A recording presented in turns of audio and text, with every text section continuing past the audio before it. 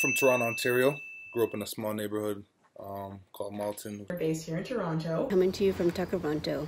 I'm from Trinidad and Tobago. Big up. Now living in Toronto. I'm in Brooklyn. Toronto. Toronto. Martinique. Washington, D.C. Out of New York, New York. I'm originally from Edmonton, Alberta, but I now live in Toronto. St. Leonard's on Sea. Trinidad and Tobago. Bristol. Los Angeles, California. Toronto, Canada. My Caribbean descent comes from the beautiful island of Jamaica. My mom is from Jamaica and my dad is from the Bahamas. I'm Trini Canadian. My family is Guyanese, so I am a proud member of the Afro-Caribbean diaspora. My family is from Jamaica. Iranian roots and Canadian upbringing. I usually operate out of Jamaica. The son of a proud Trini woman.